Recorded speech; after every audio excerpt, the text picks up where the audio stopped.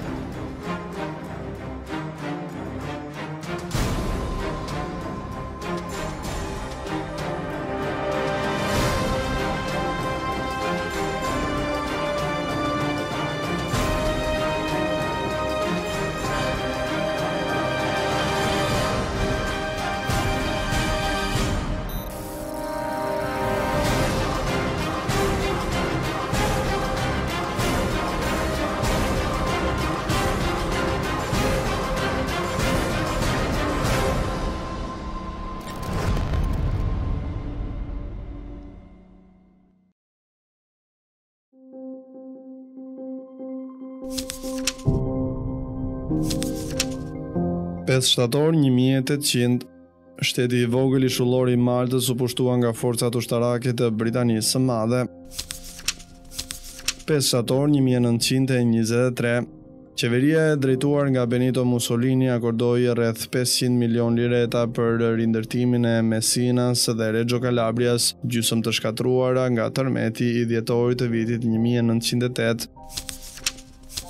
Pesë shtator një mijë e tetëqind e dyzet, Në Teatrin La Scala të Milanos u performua premiera e operës Un giorno di regno e kompozitorit të njohur italian Giuseppe Verdi. 5 shtator 1932, Kolonia franceze në Afrikën Veriore Upper Volta u nda në disa pjesë, ku bënin pjesë shtetet aktuale të Bregut të Fildishtë, Malit dhe Nigerisë.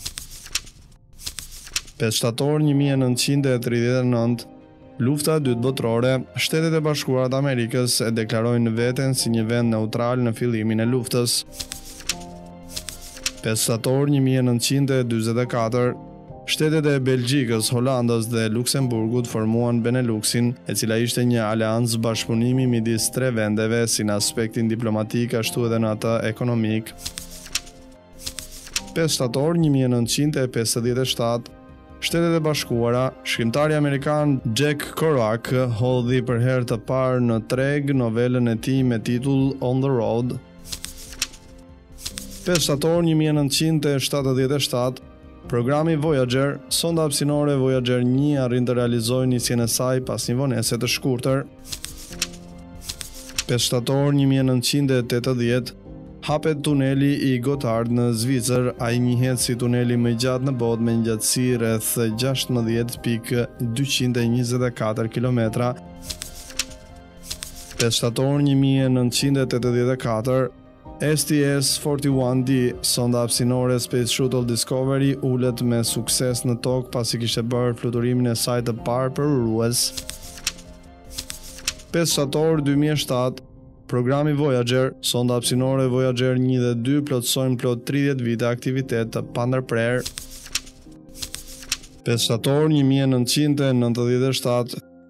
Indi, u nda nga jeta në qytetin e Kalkutës humanistja e njohur shqiptare Anjeze Gonxhe Bojaxhiu ose siç njihet ndryshe Nënë Tereza.